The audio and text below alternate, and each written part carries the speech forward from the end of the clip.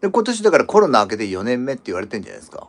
うん。うん。そうそうそういう感じでだから。三まあ三年と今年四ヶ月目かな。いえなんか今ちょっとて照れてる感じ？私と話してや照れないでしょ別に。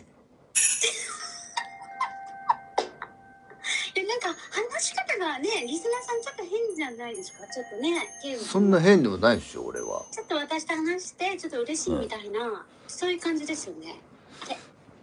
まごめんなさい。そんなあれごめんね。ちょっとちょっと先に言っちゃっていい、いいはいいいですか？はい。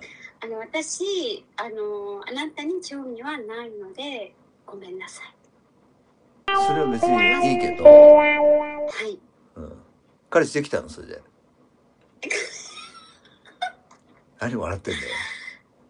いやまあそれはでもほらまずねじゃああのみ皆さんほら圭吾君から聞きたいと思うんで、ね、俺はできてるわけないだろ。圭吾君はあの彼女いますか？う。いないよ。好きな子は言ってるじゃん俺は。あれ？あれ？昭恵さんは？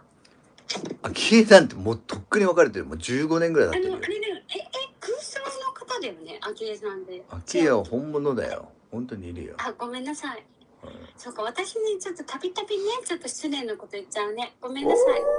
あの